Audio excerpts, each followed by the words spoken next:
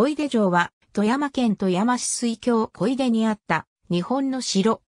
小出神社周辺にあったとする言い伝えはあったが、長らくその正確な場所は不明だった。しかし、近年の発掘調査で神社の北側に隣接する形で堀が見つかり、その中から戦国期の特徴を持つ数々の漆器や陶磁器、下駄、なぎなたの一部、木管、和げ物、鉛玉や土製の鉄砲玉などが出土し、小出城の遺構であることが確認された。全貌が明らかになったわけではないが、内堀と外堀を有していたと考えられ、上域は南北約200メートル、東西約80メートルと推定され、富山県下では有数の規模であったと推定されている。何らかの火災に巻き込まれた跡があるが、戦火の痕跡かは不明。その他に、天正大地震の痕跡も見つかっている。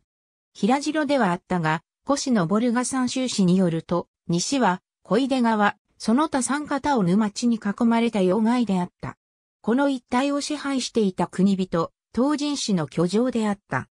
東人氏はその名が示す通り大陸由来の氏族と思われる。越後長尾氏と従属関係にあった越中国松総城主、椎名長常に仕えていた、式部大輔当時に兵庫によって築かれた。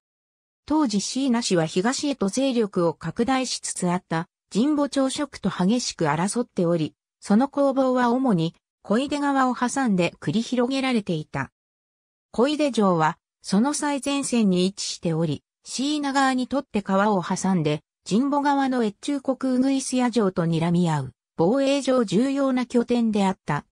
一時期美将助五郎というものが拠点としていたが、上杉謙信に攻略され、以後は上杉法と織田信長との攻防の舞台となった。廃城年代は定かではないが、富山の役の後にはその役目を終えていたと思われる。しかし、発掘調査により、江戸時代にも何らかの施設が建てられ使用されていた形跡が認められている。発掘された箇所はすでに埋め戻されていて、当時の形跡はない。案内板があるだけである。ありがとうございます。